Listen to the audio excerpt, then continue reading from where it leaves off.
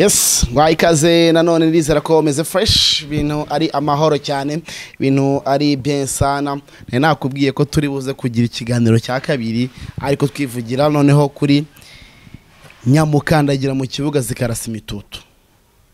Cyari kumwe na jidos jidos si ubu nongere gusuhuza ariko nkeka ko umeze neza cyane uracyameze neza. Umeze neza. Nyuma y'akagaro umaze gufungamo umeze neza cyane. Nta kibazo na kimwe. Ubwo rero natwe turagarutse kugira ngo dukomeze tugenda tubaganiriza. Pole pole tukubwira byinshi bigiye bigezweho. Ariko twibanda cyane cyane mu ikipe ya APR kwiga kwiza no kwigana biganye nde? Hmm? biganye nde? Nyine ndi kuvuga ngo kwiga kwiza no kwigana Mm. Uh, Rayon Sport yakoze Rayon Sport Day ape nayo itumirwa muri Simba Day. Ubwo se yariganye? Bayi- bayipfuye agasoni Oya, bayipfuye agasoni umubano ni mwiza.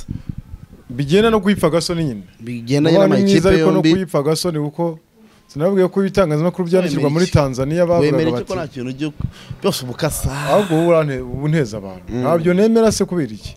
Ikipe ya peri yapfuwe agasoni kujya muri tanzania. Kuko urwego rwa tanzania rw'ikipe ya simba aka kanya magingo anga yasize yasize ikipe APR niba Simba ari ikipe itsinda arahiri ku kibuga cyayo wanja mukapa APR kujya hariya nk'uko nyine haba ari nka peri kavuga ati reka dutumire wenda rukinzo se burari rukinzo irakomeye. Aperi zatumira nk'ikipe y'umwaka karere yihe ku buryo tuvuga ati aperi Ya, kuya gasoni. Ape- aperi? Ntayo polisi kenya. Ntiyaje bigahambirana na ubwo- atudi. harya ntiyabatsinze eh ubwo ngubwo yatsinda rero na aperi yayitsinda aperi yasubiye inyuma pe muri aka karere nta Bomamuruza. Bumamuru Eh, bro Bumamuru irakomeye ahubwo uzitone. Bumamuru yavuyemo Vitaros. Ikavamo uyu muzamu wanyu Pasiye uzanye nka Vitara ariko bakina. Cyangwa ari Diaridike oya ndiyidike se. Tu aha tuze kwivugira muri APR uh, ni ikipe uh, duhereye kuko yiyubatse. Ni ikipe ubona mm, abakinnyi ntabwo baramenyerana yego. Ariko ariko boya wibeshya abantu. Mbere yuko bamenyerana se barimo? Barimo. Kandi icyo kibazo tugiye guheraho? Abahize nk'ikimenyimenyi. Sibyo habanjemo abakinnyi b'abanyarwanda bangahe? Umunani. Sibyo ryarushanwa ntiryari shampiyona? Ngo bagende ku banyarwanda gusa. umu- umu- umutoza aba agomba kudahindura ikipe itsinda. Batsinze se baratsinze se. Mm. ikipe bahindura itsinda se niyihe yari iherutse gukina yari yaratsinzwe na leta ya roza eperi hehe? Aperi aperi cumi n'umwe. yabanjemo nyine harimo umunani Ngaba. twagiye. Cumi n'umwe babanjemo ku ruhande rw'ikipe ya epr sibyo? Barakampenje bivugira ngo ishimwe jean pierre n'uri mu izamu. Paveri nzira. Mu izamu. Niyo mugabo claude. Kapitene nigena clement shimimana yunus. Byiringiro gilbert. Inyuma ni abanyarwanda usibye mu izamu. Yego.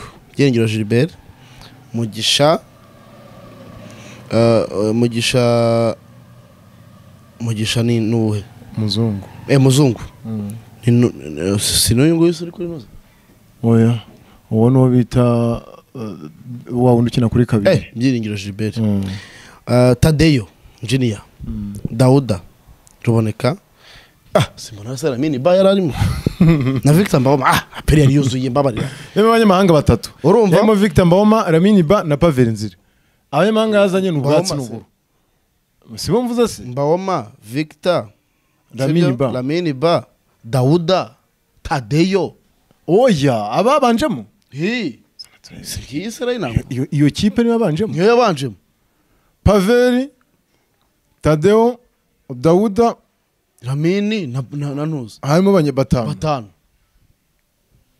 Batanu. Yagerageje nk'iyo yakoresha Aha. iri gukina n'inyarugenge batanu. Barabashya sasa baje. Abashya. Yego. Ni Lamine Ba na Dauda babiri gusa. Ngaho nyumviye ni cyo navuga. Hanyuma kuri benshi hari harimo kategeya shimwe piyeri ndayishimiye diodone nibizi rama dushimiye imana Hmm. olivier muzungu yaneza froduware richmond lamptey arium swane tuyisenge risene tuguma godwin odiebo chidiebere na mamadusi aba bakinnyi impamvu none se ikibazo umutoza afite- ubwoba. Ko numva ko numva abakinnyi bose niyo se bari bari bari bari kuri bench. B'abasiniya bahe sinhanura abasiniya ahubwo icyo twibaza. Bashya. Darikonovici ko yaje mu rwanda atarigeze atoza n'undi munsi n'ikindi gihe. Niki cya mu Rwanda suzi ko ikora?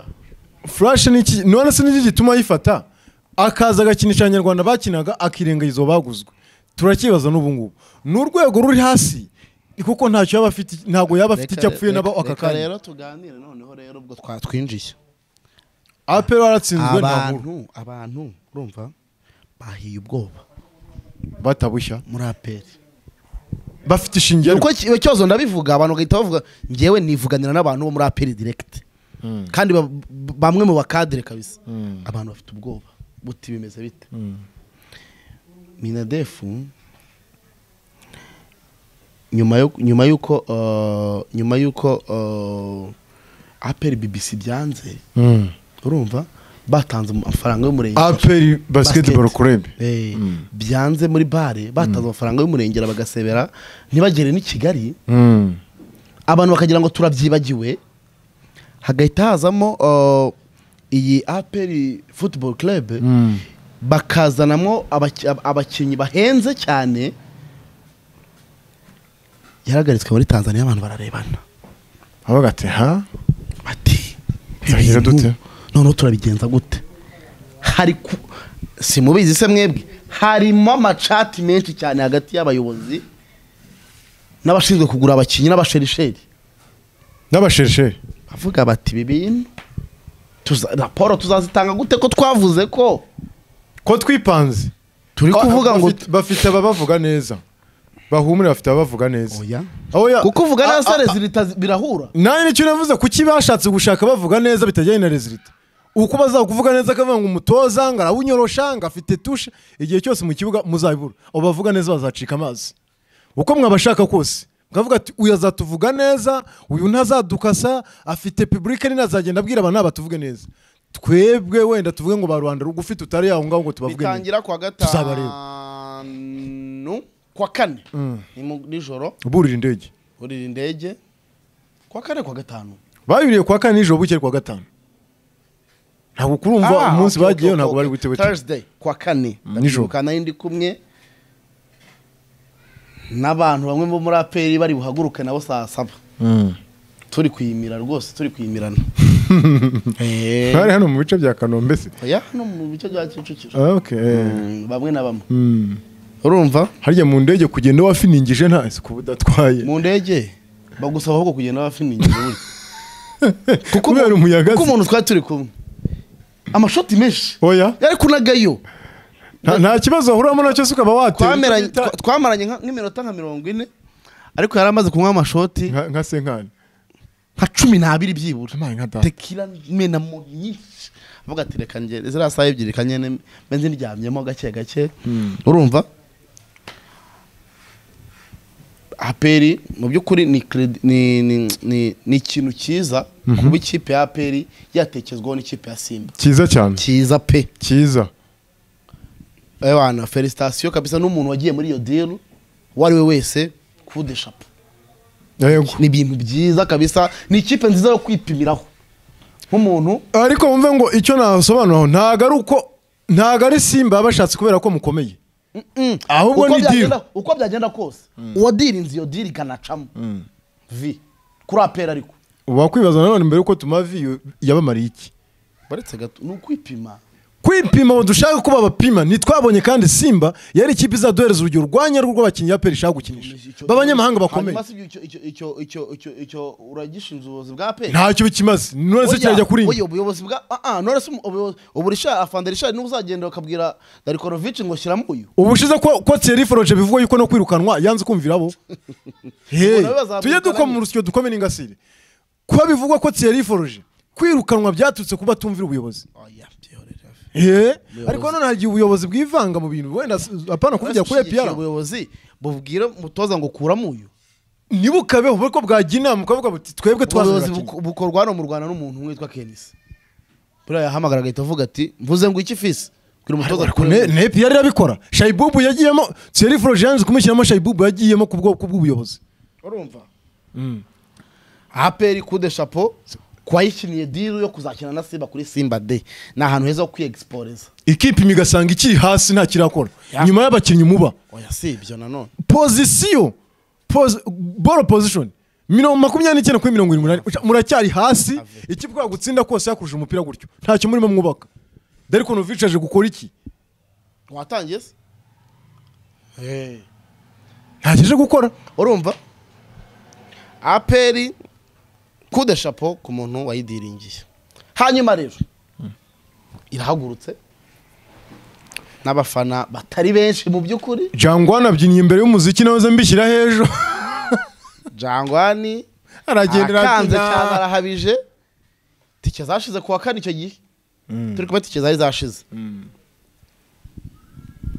Abafana ba peri. Ni mudatengwa ahubwo iratenguha. Ririya zina ryo kuvuga ngo ni mudatenguha ni mutengushye kuri iki gihe. Mudatenguha bayitumye we uyisigaye itenguha.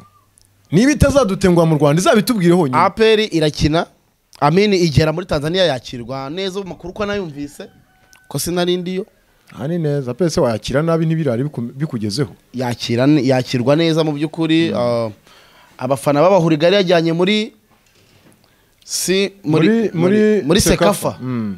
Sarupongo twari turi kumwe nijoro rujugira ejo twari kumwe. Rujugiro yari yibereye yifanira ari kureba Rayon rero icyo gihe ari gufana zamu ariko ariko yari ari Nyarugenge icyo nsobanura. Yego yari ari nyarugenge rwose. Kwa gatandatu naramwiboneye ni uko ntamuganije ariko twari turi kumwe. Bigenze gute rero? Urumva? Ntibabarangaza hama rero. Ariko mana we.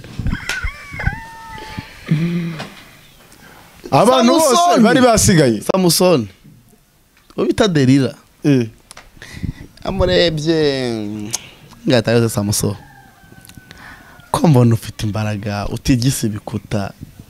Imbaraga uzikure mwana wa mama. Ariko yari ari kumukoramo hano mu mutwe. Amubwira ati mombebe amwagaza gake gake. Mombebe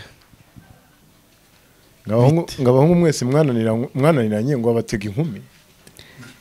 Na samuso aramubwira ati sheri urabizi neza. Azi ubwo we waba ati ndamutse uyu musatsi wanjye umvuyeho Ndi tayari ati naba mpfuye rwose nta urukuta rwajya runsuzugura cyane. Uyu mukobwa witwa derira bagiye arikojeje icyo bita umufilisitiya. Abanza amuhereza icyo bita ibyo umufilisitiya kunywa ariko wabona ukuntu yambara nka ziriya robo za reyo ku ngofero ifite akanwa ka vidari gutya. Muremure. Umufilisitiya rero acunga samusoni Eh, amuhereza icyo kunywa. De- derira yamwogoshe. Samusoni yikoze ku mutwe aravuga ati ibintu birakomeye. Ngaho ngira wikunkumure yikunkumura yamukunkumura genda ijisho barinogoramo ivumbi riratumuka. None nawe imana yongeye kumwibuka rwo agasatsi kameze none nawe uti ikiganiro ndagikora uko bigenze gutya. Hanyuma rero. Nawe gutera ibuye humura. urumva mu by'ukuri aperi igera muri tanzania yakirwa neza ubwo hari hasigaye kumenya bimeze bite. Rayon siporo iratwicira twari tuzi ko match iri saa cyenda yayishyira saa kumi n'ebyiri. Twari tuzi ko tuva muri reyo deyi tunyaruka. tunyaruka tujya kureba aperi bituma tu- aperi tutayireba neza. Tutayibona. Wabonaga no kwireba muri stade byari ingorabahizi. Byari bikomeye. Ari bikomeye pe. Urumva? Um, ariko nk'abantu bagomba nk'abanyamakuru nk'abantu tugomba kwiyaranja turiyeranje turiyaranja yaba highlight yaba utuvido wagiye uvumba ahandi turabibona. Abafana bareba bajyaga igicu gusa. Icy'ibanze rero tukiri muri stade aperi iragitamira. bayiboneyeho penaliti Eh. Ah, Ramini ba- umukinnyi mpuzamahanga barituye umuntu baba bayiboneyeho cyangwa ni cyo gituma mahirwe make- atabazana. ku mahirwe make babayiteye mukwara arayirata. Ayitera poto ntabwo paveri yayikuyemo. Reka ari yigira Eh, isobane rwose. Ayitera poto bakuraho. Baku- bashyize izamu. Ararangira arakina igice cya kabiri kigitangira? Ku munota wa mirongo ine na gatandatu. Ebana baki aperi kivuga ati birakinika. Bikinika. Yari yabuze umupira ngo birakinika. Ngo birakinika. Umwana w'umwana w'umuhungu yaracenze areba paveri ukuntu ahagaze. Yamurekuye mu ki- uruntu. Paveri n'ubu aracyitekerezaho avuga ati njye ndi umuzamu. Yamurekura icumu undi ararireba uko rijyamo. Nta deflection yabayeho. Straight ko yariteye niko ryagiye. Undi aravuga ati jyewe kujya nitupe Ndahindukira. gutanga abagabo. Ni ibintu twakinaga muri pirimeri kera. Byo- tubeshya batazi iby'izamu Eh, ngo natanze nk'umugabo Eh. umupira ngo waciye hejuru. ngo ngo yakurikiye. Ngo yakurikiye. Ngo yayikurikiye. Kare kare kare aravuga ati siniteranye namwe ntabwo nkurikiye rwose. Ubwo barakina. Barakina barakina barakina. Pere bayitera baro pe. Barafinda nabo bari aho ngaho. Barafinda. Abarituye umuntu mbere ya box. Ariko yagize neza. Kekari akantu nakemeye yari hafi ya penaliti ariko bya iyo kabanza. kari kabaye n'ubundi. Iyo amuritura muri penaliti yari penaliti. Uwo bita paveri bamukubise kufura. Aracya- aracyayitekerezaho hariya yambeshye. Yagira ngo ni mustafa fati. Hariya yambeshye rwose. Aho yari ari ni ho bayiteye. Funga gufunga poto byamunaniye gufunga poto byanze kugeza bamuteye ahantu yari ari baro ihita ijya mu izamu. Yamukubise bana baro yatarabaho. Tayari. Ukuguru kw'ibumoso. Shoti cya aramurambo kabiri kiba kiranyoye. Mukapa yose ijya mu kirere. jya mu kirere. Simba yari yateguye stade yari yuzuye ibihumbi mirongo itandatu. Abafana ba simba icyo nabonye imyigaragambyo nyuma y'amace nari imyigaragambyo icyo ama interview yijujutira. Imikino y'ikipe batumiye. Bavuga bati ikipe yatubeshye nta na abadefanseri bacu ntitwamenye niba bakomeye abakaseri nta kigenda abataka nuko ikipe Ntitwahuriye twakiye na- na yo na niyihe abafana rwose bavuga bati havi weze kandi ni gute ikipe- nta kintu yadukora nta challenge ntaki ubu turashaka indi match. Ubundi kuri simba de simba wari isanzwe ukina amakipe akomeye. Abafana numvaga bijujuta bavuga Peresis twebwe ikipe ikomeye hano mu rwanda. Ntaringizemo abafana bavuga bati ikintu twabonye twabonye iraha ya- arikiba aturirimbira atari ku mupira twabuze. King kiba. Eh, twabuze niba ikipe ya peri bavuga ikipe ya peri ntiyateye mu izamu. Abataka bawe ntibasho- ntibashota ntiba- ntibacenga ngo turebe urwego rw'abadefansi ball bacu. possession birangira ikipe imwe igize mirongo irindwi na rimwe indi igize makumyabiri n'icyenda. makumyabiri n'icyenda. Aho narindira ndi kuganira n'abafana b'ikipe ya peri bati bati bati namwe mwatsinzwe ariko ntako ngako bambwiraga. Namwe mwatsinzwe ariko. None ngewe nari narishyizemo bya bintu ngo twe twagize byibura mirongo ine na gatandatu. Posisiyo Eh, utazi ko wanarushije azamu. n'ubwo nanayirushije ngewe nari ndi kwishyira mu ntambwe. Wari uri kwimanura. Nari ndi kwimana mvuga ati ntabwo natwe twagize ine na gatandatu mwebwe se mwagize makumyabiri n'icyenda ra? Utazi ko hari n'imbere. Ntazi ko ari njye wagize itandukanye bari kunyira.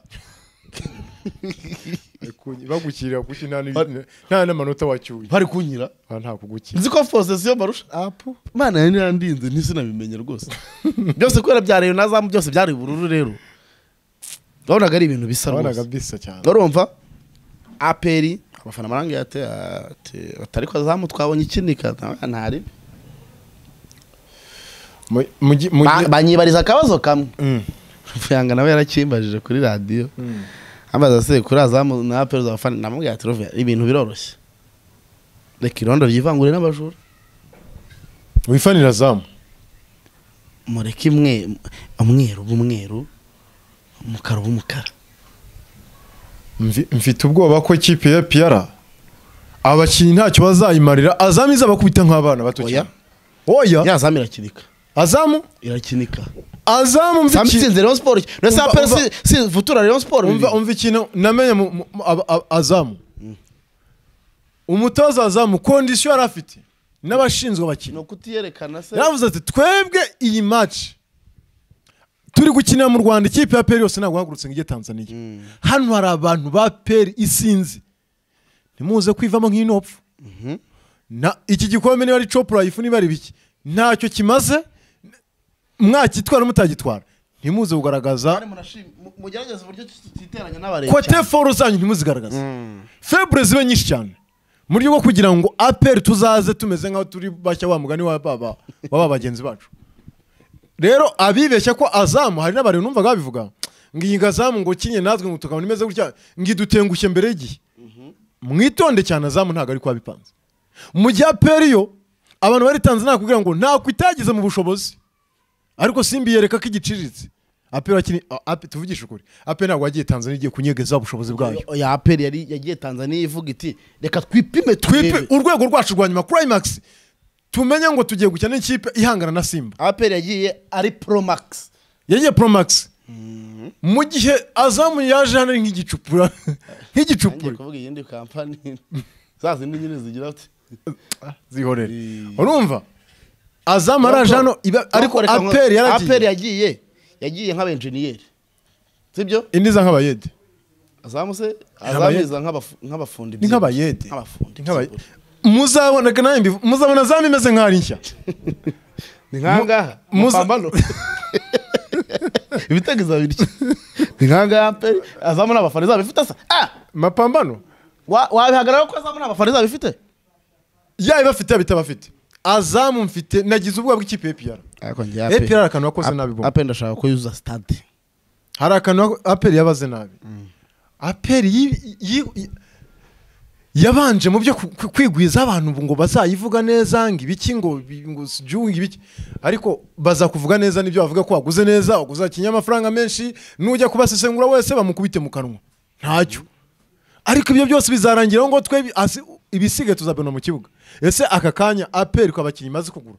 Ko batubwira ngo ni abakinnyi b'amamiliyoni ni abakinnyi bakomeye bavuye ngo mu mbuga ngo abakinnyi ngo beza ngo abadefanseri beza ngo bamwe mu bakapiteni ngo abaha abo ibihembo defenseri abo badefanseri ko hajya somari inkingi wa Rayon Sport? Eh, ko akina? Ariyo usobanura kujya adakina ase uriya ndamwibagiwe uriya wa mevesi ko yavuye mu ikipe ikina muri shampiyona imwe n'uwa- n'uwa n'uwa- epr richmond raptey yari kapiteni w'iyo kipe. Wamevuze ko yaguzwe miliyoni zitagera kuri makumyabiri. Undi yaguzwe ukunda akagura ijana na mirongo inani bakina muri shampiyona imwe kandi bose bari mu beza. Iryo- tandukano ririmo mu rwanda harimo nk'umukinnyi wagura miliyoni ijana na mirongo inani undi ukamugura rampute rampute ariko arawuzi ariwe kankwibarize gutanga asisiti byacikije abantu urondogoro none se umukinnyi ashinzwe iki? None se niba yatanze yaratanze asisiti kuki bategereje kumushyiramo ryari? Naze nubwo azitangire ataraba afite ijana ku ijana urajya gukina urajya kugura umukinnyi ngo umaze amezi. Harimo abamaze amezi atanu batakinaga harimo amaze arindwi uwo mukinnyi azaba afite iryari. Ntutinyira yanga rero. Ihita ireba kratis cote chama. Tuvuga tu mvuze ngo none rero nibyo mbabwira none rero ikipe ikaza iguza umukinnyi mw'ubwo buryo bw'izo kondisiyo zose. Amaze iminsi adakina hari ibimuvugwaho ubwo bushesheri warangiza ukipanga ukavuga ngo ndashaka kujya mu matsinda waba wibiretse icyo nemera cyo nuko abantu bari kugurira aperi sibyo nta bintu byo bafite amafaranga nabo ubwabo nabo ubwabo? Bafite amafaranga. Icyo kintu narakikubujije ntawanga ijana mu rindi ese kuba ufite amafaranga? Bujura. unyereka idolari? Ngo igihumbi wacyanga nyishyurira agapikipiki ahubwo nta. Ngaho nyumvire. Aka kanya ufite ibihumbi uryamanye. Aka kanya ariko urashaka n'igihumbi cyanjye kikuvana ngaho kikugeza iwawe. Hariya ni igihumbi n'icyatanu. Ibyo kuvuga ngo aperi ngo ifite ngo abantu bayigurira ngo bafite amafaranga. N'abantu abantu bayigurira ba aperi ni abakapo pe. Ku buryo bataye inyungu utase? baba baganira ibintu bya bya bya sa bya sa mili dolari de sa mili dolari niyo mishinga baba bavuga. Umva umva mbwiye bro ntawanga ijana abakire. ntawanga ijana mu rindi hari amasitori bajyaga batera akavuga ngo umukire waha kigali wigize kugira amafaranga ni rujugiro kabuga gutyo. Ngo wigeze ngo kumutega ngo ijiri a- akajeregeti ka ka kandi gatoya mbanza aratanu. Ngo arakareba bagira ngo aragacara avuga ati ntawanga ijana mu rindi ara- ara- aramanuka aragatora ku mafaranga muzi yari afite none uravuga ngo amafaranga ng'iki kera narazi kigali bajyaga bavuga ngo inzu ngo yo kwa kabuga ngo yubakishije ngo ibiceri. Izo sitori ntabwo wazumvisha wowe mu cyaro? Ahubwo n'ubu nari nzi ko nzahura na yo. Ni iriya rero ni iriya korera polisi ku muhima? Oya. Eh, bahita kwa kabuga kuri edikota Eh, ndahabona apana ku hedikota Eh. nyine hedikota ariko ya traffic ni iki? Sinzi ariko hariya ku muhima nyine umanuka ujya nyabugogo. Mm. cyakizo baravuga ngo cyubakishije ngo ibiceri. Narahagera narahageze mpiga igiceri ndakibura rwose. Izo sitori ni bwo bwa mbere Twa- twajyaga tuzumva ngo ndetse ngo bigeze no guporopoza igihugu ngo kubaka inzu ndende ngo ku buryo azajya yicara hejuru ngo akareba. iwabo. Ibyumba. Mu rugo. Aya izo ni sitori Eh, urumva? amafaranga bo barayafite. Ntawakwanga ijana. ntawanga ijana ariko abayigurira bo tutabeshyanye abari kuyigurira. Bari kuyigurira nabi bamara kuyigurira nabi. Sinzi niba abo bantu ba- boherejwe bahamagawe kujya bayivuga neza niba nabo bari mu bayigurira. Ariko ushobora kubiyigurira nabi. Ariko akavuga ati nubwo tuyigurire Ni nabi. nawe jya hariya uvuge umukinnyi w'igitangaza undi najya kuvuga ngo ese umukinnyi ujya kuze ngo mwite umusazi? Mu makuru numvishe bakiva tanzania. Umunyamakuru umwe yaraje avuga ati reka mbabwire. Ese uriya mwarimu umusesengura kuri radiyo y'igihugu we ntiyari ariyo. Kuki wowe utamubajije? Kuki utamubajije? Ese abakinnyi babonye byari bya peri biriya ko byari ba- none se kuki yakubajije we ngo kuri azamu kuri azamu na aperi uzapfa niyi kuki utahita umubaza epr Natamubaza se afa niyi oya turayizi. Ahubwo wari kumubaza uti ese muri tanzania wabonye ikipe unyoroshe wayibonye? Imbona nkubone. Buriya televiziyo iryoshya umupira si ukukubeshya. Kureba umupira kuri televiziyo. Irawuryoshya kumva kuri radiyo ni byo byiza. Noneho noneho wumva ari i burayi noneho wumva ari ba umupi- mesi umupira wogejwe nawe uwa Rayon Sport. Sha, niyo yaba iri gukinisha abafite ubumuga- wasira bavuga ngo yesu. Ngikanyereza yesu. Ware! Jye niyo ndi kuri stade. Nkunda kure umupira nashyizemo ekuteri. Nkareba ibyo abantu boyigeza. Jye ariko sinyambeshye umupira usibye no kuburyoshya iyo ikipe ikina nabi ndabivuga. Ariko aperi rwose muri iki gihe bari kuyigurira. Niba ari kuminjiramo agafu se? jye nabasabira kwirukanwa. Nabasabira kwirukanwa. Ikipe ni iy'abanyarwanda sambo se atari ibisambuzi oya. Ubwo raperi ingamba ntizihindura ijya ivuga ngo abakinnyi turi kugura. Nabo gutwara igikombe cya shampiyona. Ni- Naho na- kwipasa muri Uretse Afurika ngo- wemera ko aperi iteruye muhazi. ikayambika amajezi. Yatwara champion. Noneho kugira ngo nkwereke ko abakinnyi baciritse. Babuze sapoti zimwe abakinyi bo bigeze kugura kuba bakavuga ngo porosantaje yabakinyi niyo nkeya kurenza iy'abayobozi. None byavuzwe nanjye se? Si abakinnyi babivuze? Ngo umuyobozi ngo niwe ngo ufite byinshi ku gutwara igikombe cyacu kurenza twe turi mu kibuga. Nimvira nawe ra. Nawe tubyumva niwe utanga motivasiyo. Niwe utanga niwe ujya mu kibuga? Yakinatari yese ariko Atahembwe. se. Se ifi n'inkoko Rayon Sport ko ita- ita- itahembwe se ibura kubitwara. Zirindwi iba yahembye izingahe zirindwi. Ariko siko yahoze? Ibi bije icyo- kuja- ku bwa Jean dushimira Fidel. administration nziza. Cyane wagarutse. Ariko njye nakubwira ngo administration se nigeze nyanga. Ikipe ya APR kugira ngo ubone urwego aba bakinnyi bariho ubafasha abamuhazi bose cyangwa se ikipe iciriritse buriya ni ikipe ntoya ni magaju. Magaju ninde wakubwiye ko aciriritse. Rero- sunrise y'iwacu yamanutse. Ba Paul Rabe se oya bara nawe urakabiri eh ba Paul Rabe ukabaza ukavuga ati aha ngaha ikirango umurava itsinzi akasha naho riyenza umweru n'umukara. Hanyuma mwebwe uko mwakabaye ba- babinuze ngo munyorosha cyane ngo bamarasta bamarege. Baramputeye. Baramputeye. Mujye muri muhazi. mumanuke muri muhazi. Batababanye badakunkobotse ngaho n'ibindi hafi. Sapoti iyi aperi sapo- yambitse muhazi. Muhazi ukambika aperi niyo yavuturinde muhazi bambitse piyara yatsinda Mu- muhazi aperi ya nyayo bambitse muhazi. Rero kamubwire e piyara ngewe nsigaye nyi- nsigaye mbisesengura nshize amanga kuko binyereka ko iyo igiye hanze abasifuzi basifura si abanyarwanda ubutaka ikiniraho si ubwo mu rwanda?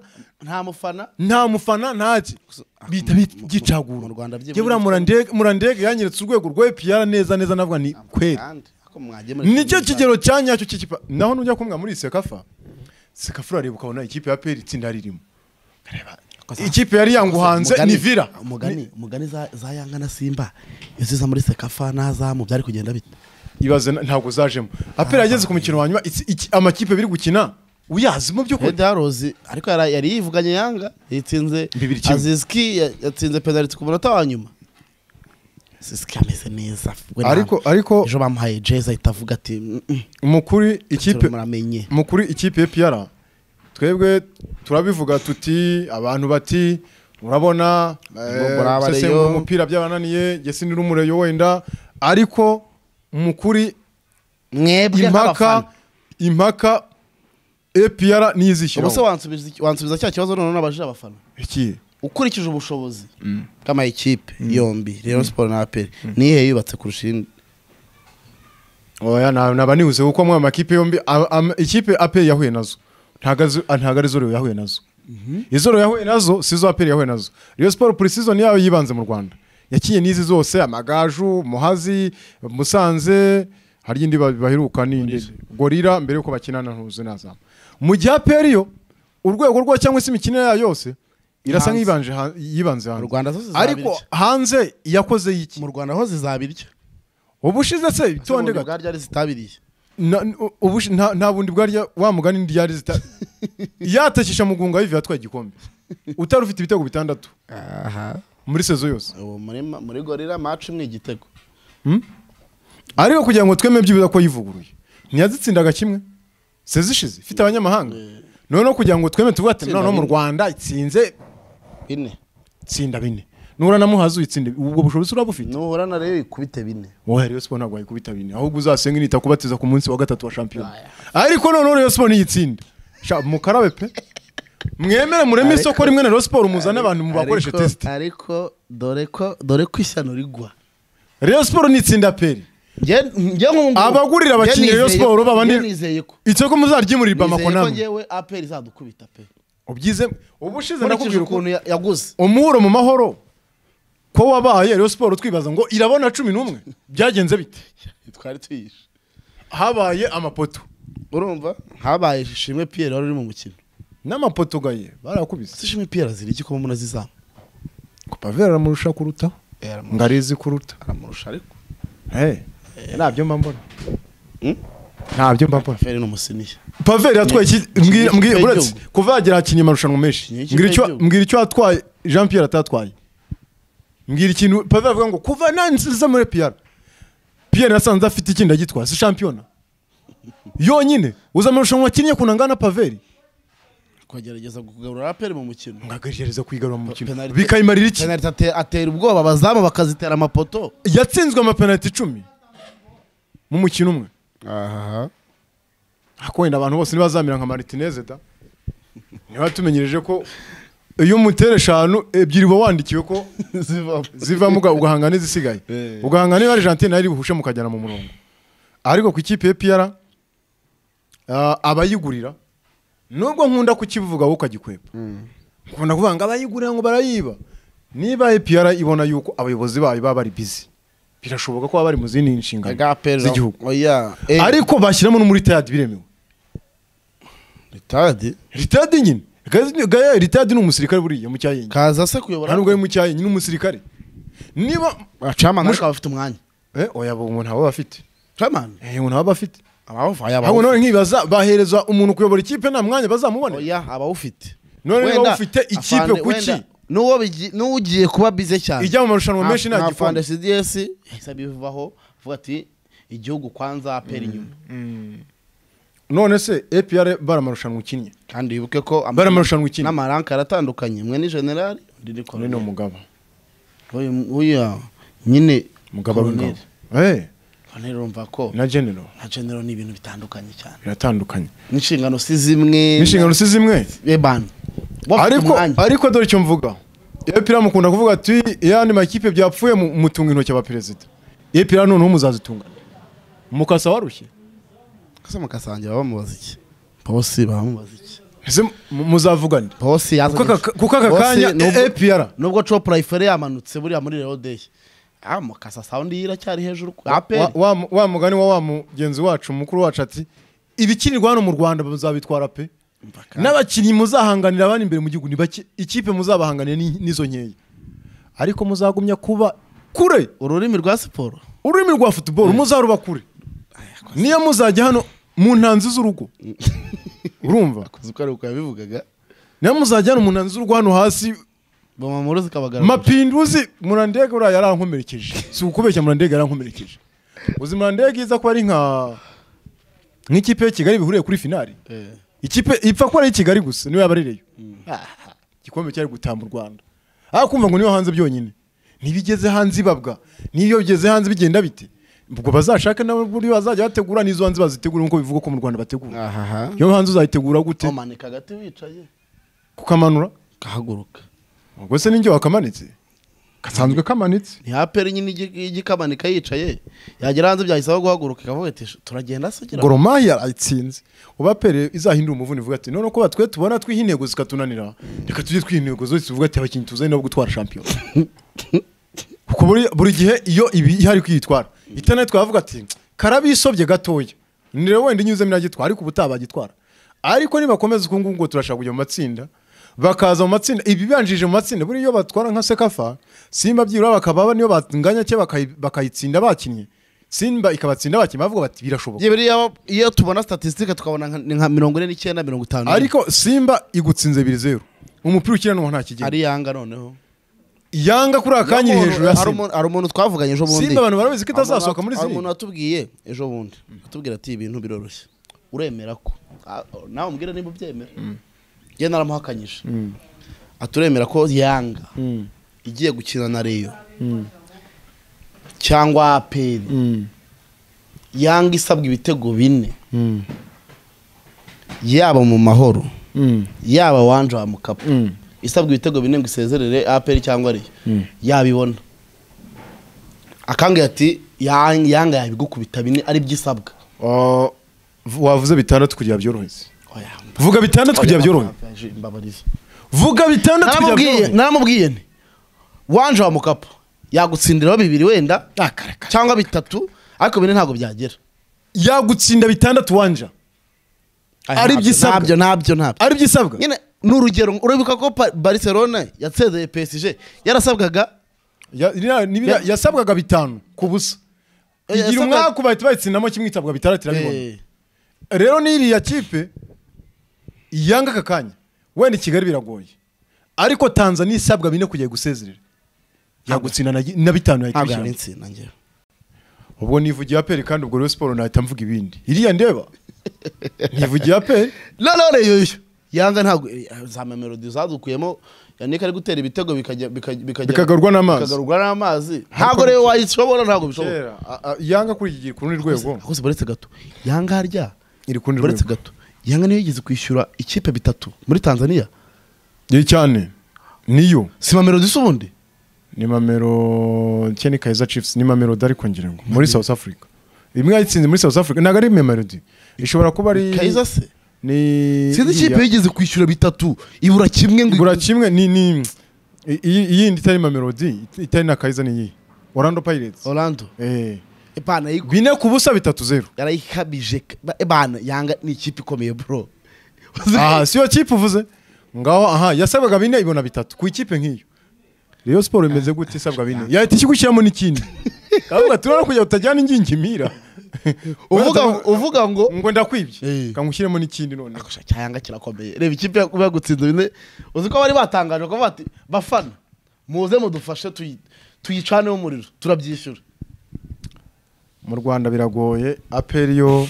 Mu rwanda uku- azamuka. gusohoka bi- bi- bise bi- byongera kuyisubiza ku nkeke. Urareba ukasesengura ukavuga ngo niba iri ku rwego rwo gutsindirwa hanze gutya. Azamu nigenda ikayitsinda bibiri zeru cya bitatu. Hano i kigali zabyishyura itsinde n'icya kane.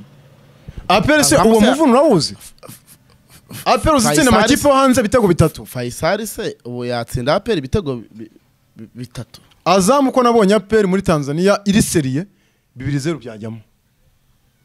Ubwo ukibaza aperi ureba izatsindira azamu mu mahoro bitatu zeru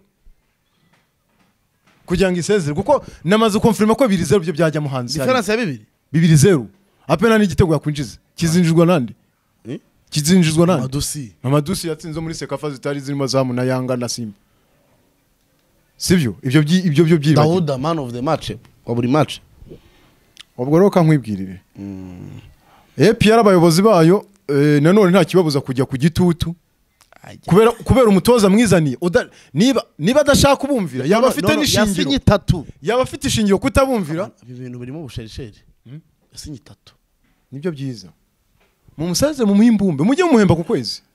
Azongera gushaka akazi mu, mwaka wundi mu myaka itatu. eh, avuga ati amasezerano nifite n'ikipe y'i kigali ararangiye. Ubu none undi free agent. Nk'iyo kontara nta bunyamujyi buba burimo. Hmm? Imyaka itatu uhembwa amafaranga y'umurengera. Gusa ko bayafite. Oya barayafite ariko se na- n'ayo gutera inyoni? Erega amafaranga aperi ifite? Yagakwiye kuba iyakoresha ibikorwa byiza bituma abantu twishima umugani wa polisi y'igihugu ati nyuma y'imirimo yo kurinda abantu n'ibyabo polisi y'igihugu iridagadura. Iyo ntibigi no gukina ni ukwidagadura iriya na yo iransetse. Aperi rero nyuma yo kurinda abaturage yo kurinda ubusugi bw'igihugu. Eh. ingabo z'igihugu zagakwiye gutanga ibyishimo.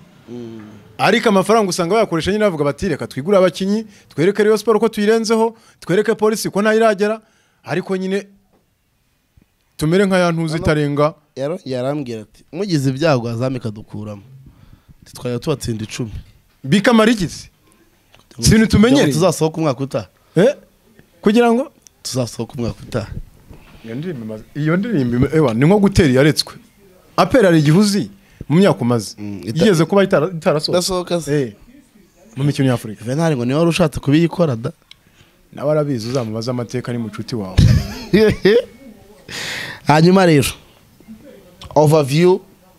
ibit- noneho ni bya bitego ikibazo ibitego batsinze aperi ni byo bitego utavuga ngo banyibye none oya noneho ujye ku mahayirayiti uvuge ngo ngo aperi yarakinnye ngo ariko na yo ngo hari igitego wabonaga ko gishoboka. Utudomo. Utudomo. udushoti twa nta kigenda. Pase ntabwo ari ebyiri eh ariko abakinnyi b'abanyarwanda nubwo dore konovici bakinisha nta cyagiye nakubwiraga baba bafite ubwoba bwinshi. Niba izira amazani wagira baro iba ari inyamaswa. Aribonamo intare? Hari ukuntu baguhereza baro babona uri mu bakinnyi bakuzengurutse. Eh. noneho simba ifite puresingi bro. Yari ifite puresingi bayimufungiraga ahita yitarutse ayitera nk'iri avuga ati bikubarweho muri umupira wawe ntaba ari njye. Ntaba ari ngewe ukibaza abakinnyi b'abanyarwanda nabo ko baba bafitiye ubwoba uwo munya darikonovici kadashyiramo n'abanyamahanga ngo turebe itandukana n'abanyarwanda biragenda bite? Ariko jyewe waramutse atumvira ubu- ubuyobozi kandi baravuga ngo mwumve mwumve ibyo uwiteka abwira amatorero. Nubwo mbona bayamaze bayafunga. Mbona ko ntiwongeyeho aza kujya usengera he? Hmm? rwe rufite parikingi y'imodoka zingahe? Eh urwanjye Ah, eh kwa twe adeperi burya nta kibazo. Depe nta kibazo kigira Mm, babihereza umugisha babona byatunganye adeperi buriya nta kibazo. Turi no kuvugurura twebwe urwacu kuri paruwasi hariya kacyiru. Ufite amafaranga. Ese ni kacyiru buriya? Mm, Ah, kuri paruwasi adeperi kacyiru. Niho nsengera hariya mu kanserege mukanserege Eh, kuri paruwasi tuza abashumba rwose. Ese bazaguha akazi? Kwa ya kwa ya sonide kwa ya hariya ni mufite radiyo kuri life se. Life Life oya oya ntako nkeneye buriya wajya ukora amakuru y'imikino. Ntako nkeneye cyangwa wajya wakira abapasiteri muri himbaza. Yaho. Nakira abantu ushaka muri areruya ape rero icyo nabivugaho ngira ngo nayisozeho igomba kureka nyine ikagotomera. Ku rwo yashigishe kwa peri mana yanjye. Ikarucurura ikumva niba arazanye darikonovici itamuzi ariko njyewe nemera ikintu kimwe. nemera ikintu kimwe. Ndemera ko abayobozi sibyo b'ikipe. Mushobora kuba mutari abasiporutifu cyangwa se mutazi iby'umupira. Ariko byibura ushaka umuntu w'umu expert umuntu ubizi muri byo. Ako ntabwo navuga ngo kuvuga umupira gutya ntabwo bikugira. Bo ushobora kuba usesengura umupira. Ariko ntabwo ari- ariko abanyamupira bose bamuzanye kurya kuvuga ngo njyewe ngo ndipanga kuzana ngo katubareye darikonovici abantu bo muri aperi nyine like bagakwiye kuba bayifasha bazi umupira. Sibyo? Wa- urajya umbwira niba bawuzi.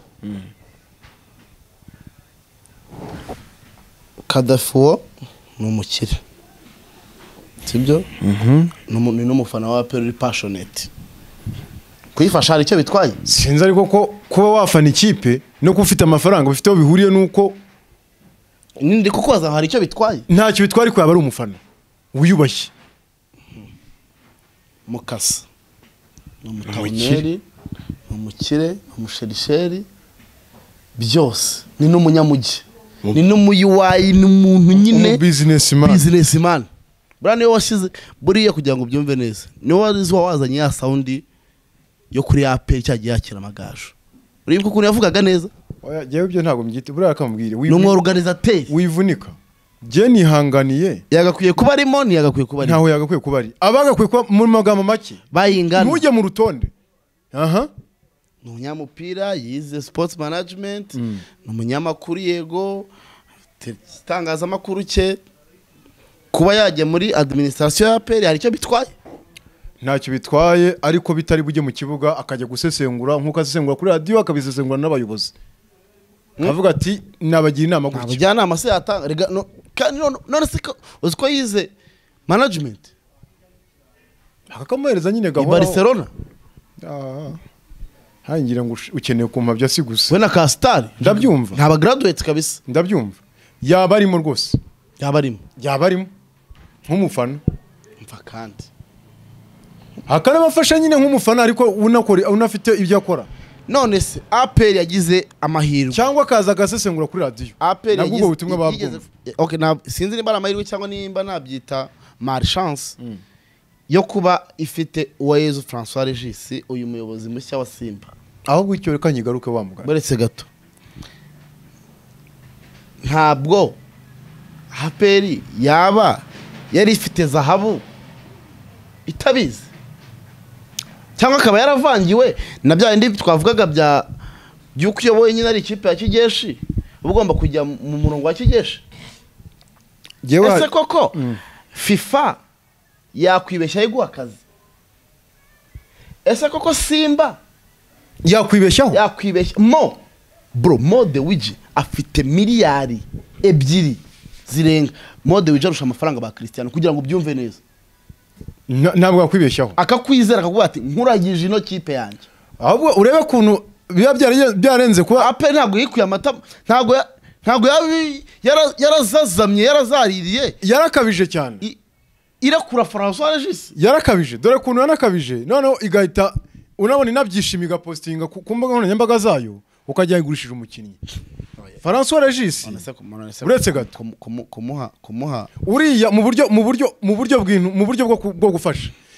Yagafashije urebeho hari n'urwego batarageraho. Ikipe ya piyara niba ishaka gukomera yagakwiye guhangana n'ikipe ya simba umuntu ishaka uzajya kuyifasha aperi ntimutange. Ariko aperi ati umwana w'umunyarwanda nagende agiye gutora amafaranga cyangwa se gukora amafaranga. Ariko amafaranga agiye kujya ku giti cye ntabwo uriya si umukinnyi dusohoye. Ngo azaza ku- kunganira amavubi sibyo nk'uko nabonye aperi yabyishimiye. ariko niba uvuga ngo urashaka gutanga muri simba. Mwe nimwe aperi Byakwanga. ni cyo ndi kuvuga ngewe byakwanga. None se ko simba ibarusha ubushobozi? Na ko muvuga ngo kwiga no kwigana mufite ni cyo muyigiraho? Kuko no gukina nabo ntimubasuzugure ni uko mushaka kumera nkabo. Umwiza wanyu ikabimutwaye ni ikigaragaza yuko namwe ntabwo murisobanukirwa ibyo mushaka ntabwo mukizo redi kuko uriya ntabwo ari umukinnyi cyangwa umutoza ngo tumutanze twishimye azagaruka bitaye mu ikipe y'igihugu. Usibye yuko azamu nyine ariyo ari ikipe nyine y'agafu k'imvugo rimwe muri tanzania ari nka ari nka ari nka ari nka Nka za polisi cyangwa nka oya ntabwo ari nka kiyovu. Ni polisi eh, ni polisi. Nka za polisi zifite amafaranga ariko ziherera mu mafaranga gusa. Eh, urumva? Mm. azamu ni bwo bwa mbere yibonye abafana bayishyigikiye nabonaga ibyishimo by'abasazi. Ibyishimo byari biri kubasya abakinnyi aba aba MC nabonaga ibyishimo by'abasaza badashaka kuva mu kibuga ati, "Iyo aba bantu. Bose bazamuye ari kuvuga ati ibi bintu byashoboka bite koko? Ngo tujye twikinira hano abafana tubegukane umufana yakwibayeho nawe. bita bangara yaravuze ati "M- mbigisha akadansi cyangwa abafana ba Rayon ba- ni abana beza barumvira. Eh? barumvira. Nta umunyacyubahiro umuki bose baba bibereye mu rwa rutabura bavuga ati perezida perezida. Urumva?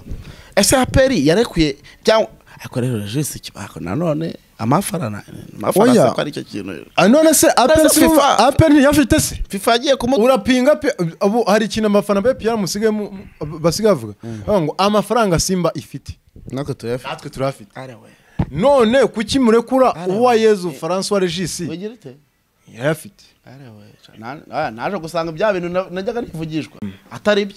Aha ni byo da hafi hafi apel ifite amafaranga mbireke byihorere apel ifite apel ya hano mu rwanda. Abayo aho ikomora amafaranga harahari kandi kuva namenya Harakomeye. urumva? Ko? Bigendana n'amasekiteri se bije. Urumva?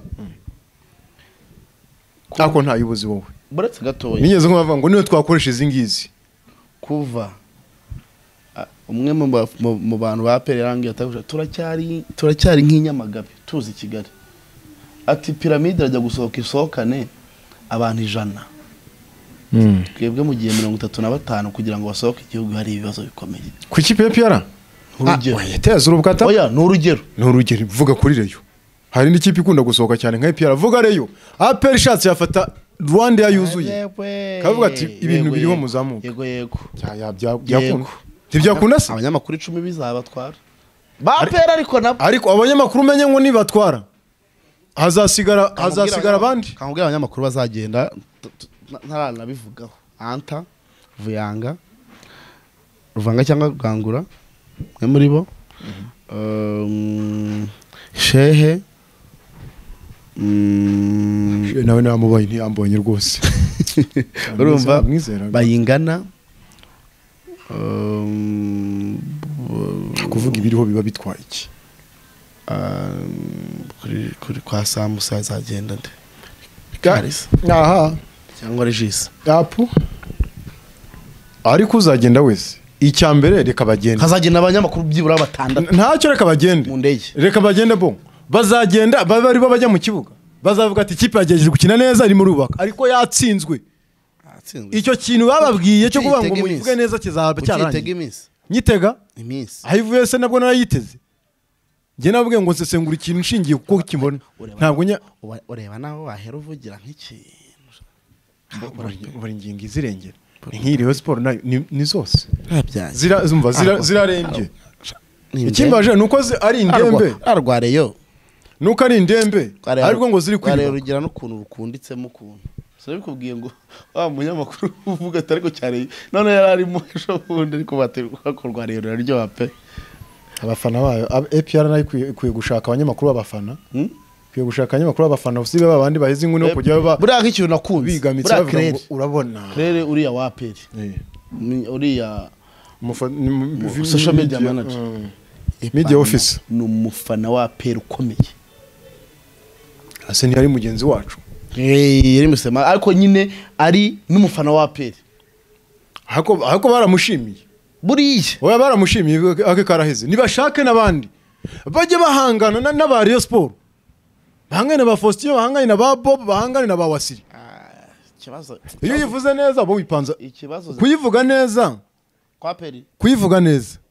Itagushyizemo ngo ba wipanze akazi njya numva ama- njya numva ba bandi bahari hakurya na Faustin. Habu- hari uburimo avuga ngo eh akavuga ati rikokereza ariko nta kazi yaguhaye. bo bita mworo mworo. Tangazaje? Tuyivugire neza ko aperi uyivuga neza ari uko yaku iyo uyivuze neza nyine mutaziranye uba wipanze akazi. Ariko n'ubundi tuzatuvuga ibiriho. ibihari uwo bibabaza bimubabaze ariko ntabwo tuzakuvuga ngo aperi yatsindiye tanzania itatsinze. Tuzakuvuga ngo Rayon Sport ngo watsindiye ngo ngo inyamirambo itatsinze. Ntituzavuga ko yakiniye Ah, umukino mu mwiza yakiniye umukino mubi. Abo abahari ngo bazabivuge barahari abazavuga ko abakinnyi bakomeye ngo dutegereje kubabona barahari. Muzanabumva kenshi. Natwe mujye mureka twivugire ibyacu ibyo tubona. Twe ntabwo tuzavuga ibibeshyo tuzavuga ibyo bavuga ngo mwere ngo harimo ngo ubureyo ngo bwinshi. Ariko mbibutsa ko ntabwo gufana ari ikibazo. buriya ikintu gikomeye gihari. Ikibazo ni uko wabyitiranya ukaba wafana ugatwarwa n'amarangamutima. Ah marangamutima se yayo uko twakoze ikiganiro cya reyo si bamaze kukireba. Gusa ko dukoze n'icya aperi nta marangamutima. Ahubwo tuba turi kuvuga ukuri. Ariko yombi muri rusange Ariko amakipe nkwibutsa ko muri- aracyafite umusozi wo muri kure expo scovia fashion irimo. Scovia fashion iri muri expo hariya muri tente ya kinyarwanda. Kinjira kabisa uhita ubabona wagenda ukihahira. Amashati meza amapantaro meza y'abasirimu ah, banakudodera hariya uhari rwose nabonye umutayeri ahari ari tayari ubwo rero bagereho inyubako ya miki ibibanza biracyarimo. Rwose wabageraho ubundi ibintu bikagenda neza cyane ukabasha kuba wacuruza hano umutekano w'umukiriya aba yisukiranye cyane. Hanyuma rero tugenda tugana ku musozo. Isomo ama ekipe yombi yagakwiye kuba yigiye kuri tanzania niki? Eh, icya mbere mpereye kuri Rayon Sport twabanje kare. Ikipe ya Rayon Sport icya mbere ni shake eh, umwataka. Rayon Sport izakina imibiri lokale iki byawe nta nubwo byateje polemique cyane kuko ni ikipe itaravuzwamo ibintu by'iki n'iki. Ariko APR yo ubwo Rayon Sport nabishoje nishaka umwataka ikine shampiyona APR yo ubuyobozi bwayo nibwicare bucisha itoroshi mu bo bwahaye akazi. Buvuge buti kuki mutubeshya? Mwamara kutubeshya mukabyunya no kubeshya abanyarwanda. Kandi ibintu bigaragara. Aperi igiye kubanza gukubitwa mu mikino nyafurika. Ibona isomo? Wenda rero bashobora ku- kugwa miswi bakwikubitana hasi? bw'amahirwe make. Make ashoboka. Nka rayon sport itsinze aperi. Ariko ibyo ni ibintu bisanzwe. Byahita byirukanisha abantu. Oya ni byo ni ibintu bisanzwe. None se basinye gutsinda Rayon Sport na yo wikabye. Bashobora gutsindwa na, Rayon Sport izindi bakazitera birindwi. Birindwi birindwi. Kuva ryanditse wenda naba nkabije.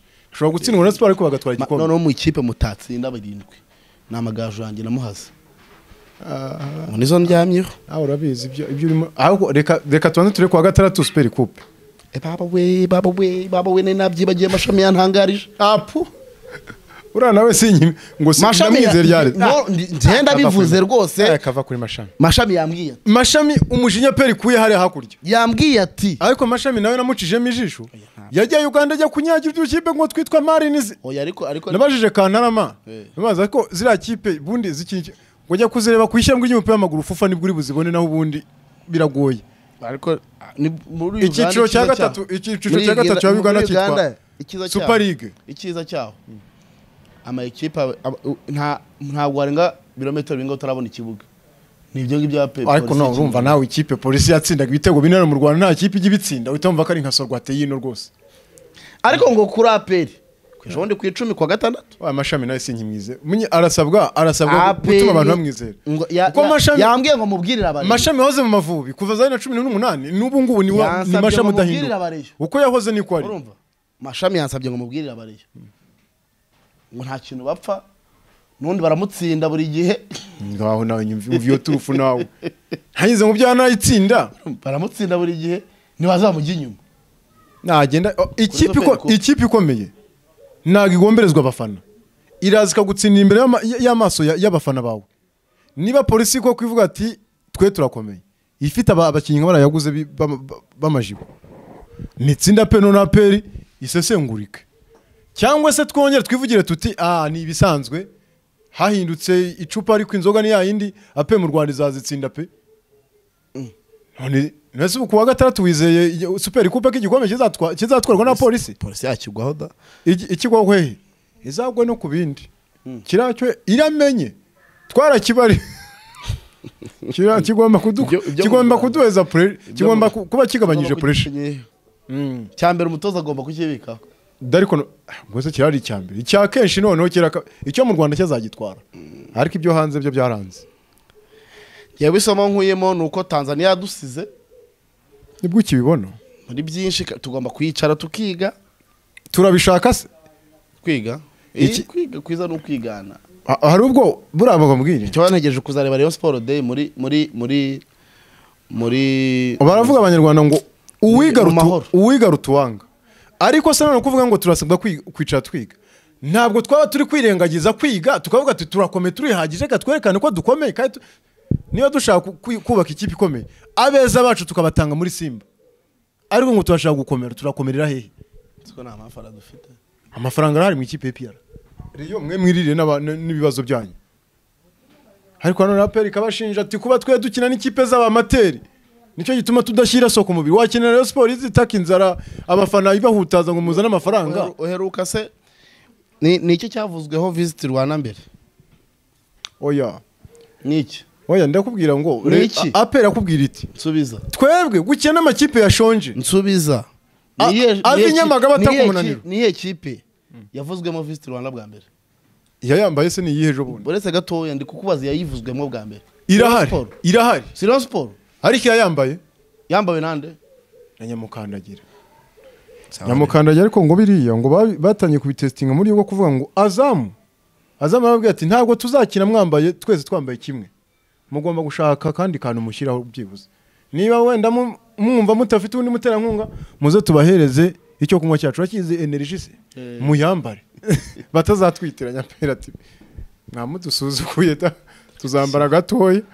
Kaka dushyiraho visit Rwanda. Ariko ngo ntuze amakuru namenye hari haruguru. Babahaye n'amafaranga wa wababwira ati nimwambare nta mafaranga turayabarusha se. Mwambare mwambare mwambare. Mm. Ntabwo yabikorera. Ah warambaye ta. Ntabwo byakunda wowe nta ma- nta ntayo ntayo. Fara wowe yabyihoreye ntayo. Have yewe wowe ntayo. Aho zika nkwibariza ase ubwo reka urumva yashora mu ikipe ifite kurenza idafite ibi nashyigikira n'inkunga biriya peri yatanze inkunga. Yo kuvuga ati reka tubambare. Ntabwo ayo makuru numva. Sinayahamya cyane ko none sinayahakana okay tunisoreze ariko nyabona mujye mushyiramo uh, urukundo udukunde ni mwebwe dukorera mukore subscription ku rwa gasabo sports. Abona ko ntako tuba tutageze ngo umuntu abagezeho amakuru. Ah, muri iri zuba rwose rica rimena imbwa agahanga. Nubwo twebwe tutarizo.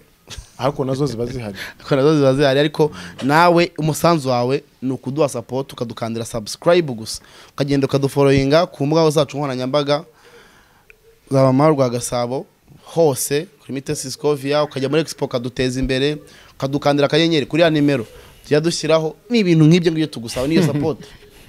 Ubu hari ikindi kweri? Ubundi tukabana neza gatanu kuri gatanu. Bob 24 ejidos ngushimire cyane. Ubwo namwe ndabashimiye cyane. Nizere ko mugiye gukanda subscribe mirongo itanu n'icyenda n'ijana bikarangira hagahita hajyaho wenda mirongo itanu n'icyenda na magana atanu. Muyikandeho rero nimba uri kureba iki kiganiro. Ubundi ibintu bigenda neza cyane mugire ibihe byiza muri rusange. Yego inshuti bakunzi rero mukurikira ibiganiro byacu scovia fashion shop. Uh, noneho kugira ngo muyibone uraturuka kuri rwanda reveni hari akarenge kanditsemo scovia fashion shop. Muri ya nyubako ya mike muri mike ako karenge kari mu ibara ritukura. Iyo urebye hasi ibara ritukura uraribona harimo nomero za telefone wahamagara. Ako karenge kanditsemo scovia fashion. Ugakurikire karakujyana mu iduka ngo pi. Kuri wowe ukunda kwambara bya gisirimu kaberwa gana Scovia Fashion House. Muri Scovia Fashion House urahasanga amashati meza y'abagabo y'ubwoko bwose kandi ya original. Tunabafitiye amapantaro ya original kandi akomeye. Muri Scovia Fashion House tunabafitiye imyenda myiza y'abakobwa n'abadamu itandukanye. Scovia Fashion dukora mu nyubako ya Miki winjira ahakorera Rwanda Revenue ugakurikira akarenge kanditseho Scovia Fashion Shop. Kakugeza neza aho dukorera. Kuri ubu kandi tubafitiye umwihariko w'uko dufite atoriye ibadodera modeli zose mwifuza. Ku bindi bisobanuro wahamagara kuri zeru karindwi mirongo icyenda na kane magana abiri mirongo inani magana ane mirongo ine na gatatu. Cyangwa se zeru karindwi umunani mirongo ine na gatanu makumyabiri n'umunani zeru mirongo inani na kane. Scovia Fashion Shop Style with us.